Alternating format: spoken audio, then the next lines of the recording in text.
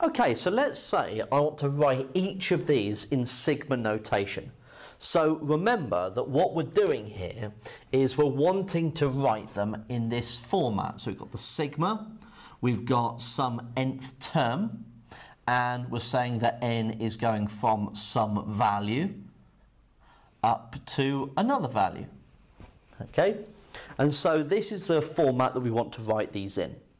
So finding the nth term is the first thing that we're going to do. Okay, so this first one, 8 plus 7 plus 6 plus 5 plus 4, we can see that we're going down in ones each time. So we're going to have a minus n. So if I put the sigma sign here, okay, we're going to have a minus n. And how do we get from minus 1 back to 8? We've got to add on 9. Okay, so you could write it as minus n plus 9 or 9 minus n. Probably nicer as 9 minus n. Okay. Now, where are we starting? Well, we're going from n is 1, okay, because that's the first term that gets me the 8. And then I'm going 1, 2, 3, 4, 5, going up to the fifth term. Okay? And so that is the succinct way of writing that series. Now for number 2, we want the nth term first, so we appear to be going up in fives this time. So it'll be a 5n. And how do we get from 5 back to 3? We've got to subtract 2. So 5n minus 2 in front of the sigma.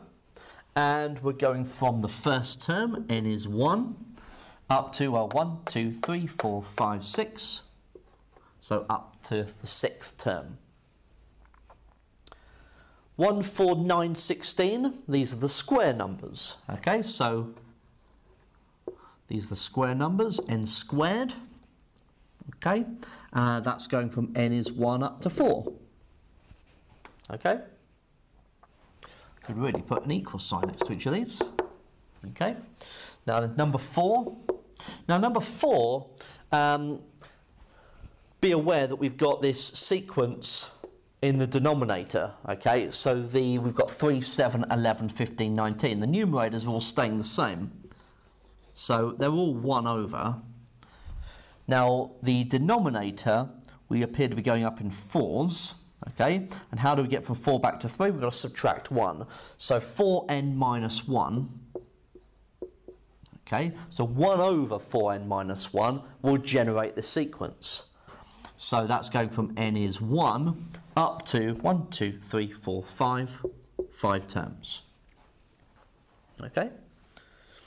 Now, number 5, okay, now I've circled number 5 um, in red because it's a little bit harder because now it's exactly the same sequence that we got in uh, number 4 but we've now got these minuses so one third minus a 7th plus 11th minus one fifteenth plus one nineteenth.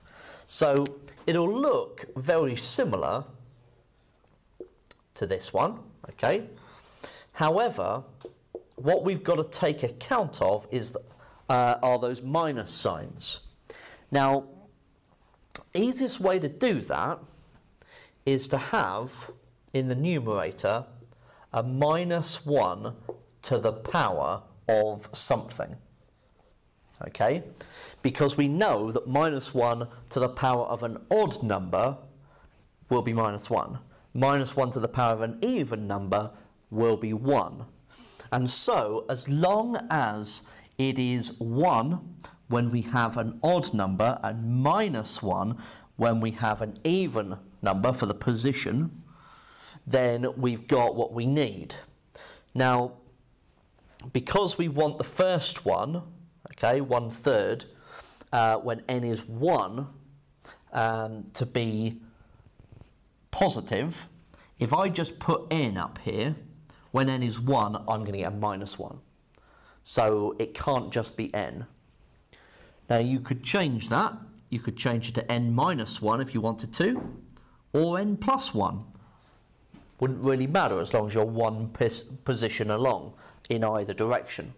So minus 1 to the power of n minus 1. So if we confirm it for this position here, for n is 4, So when n is 4, we get minus 1 to the power of 4 minus 1 over 4 lots of 4 minus 1.